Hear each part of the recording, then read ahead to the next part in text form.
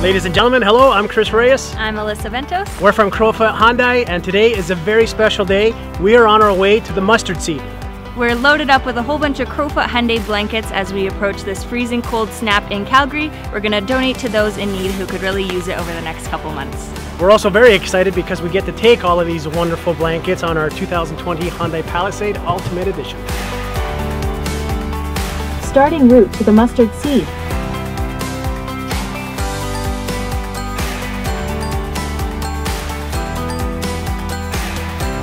One of my favorite features of the 2020 Hyundai Palisade Ultimate Edition is the blind spot feature.